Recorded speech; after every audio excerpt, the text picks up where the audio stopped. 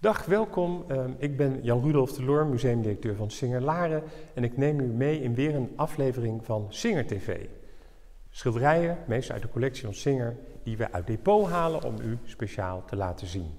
Dit keer drogende palingfuiken tussen twee grote bomen, geschilderd op het Groningse platteland in 1924 door Johan Dijkstra. Maar kijk eens wat een ongelooflijke felle kleuren, wat een vrolijk expressionistisch schilderij dit is.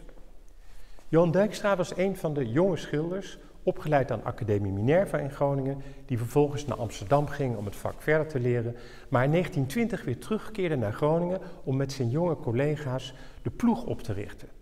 De ploeg was een expressionistische beweging die als het ware het kunstlandschap wilde omploegen en hele andere nieuwe dingen wilde doen, vanuit een gevoel. En kijk eens naar die felle kleuren knalpaars, oranje, roze. Zo ziet het er natuurlijk niet uit, maar zo vertaalde hij het in zijn hoofd.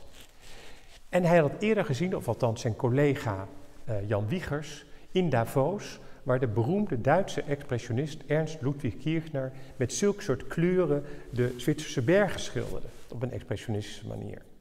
En dat deed hij op een speciale manier met wasverf. En wasverf mengt niet, dus je krijgt eigenlijk de pure kleuren op doek die met elkaar worden gecombineerd in bepaalde composities en een heel sterk gevoel uh, oproepen. En dat deden de schilders van de ploeg ook.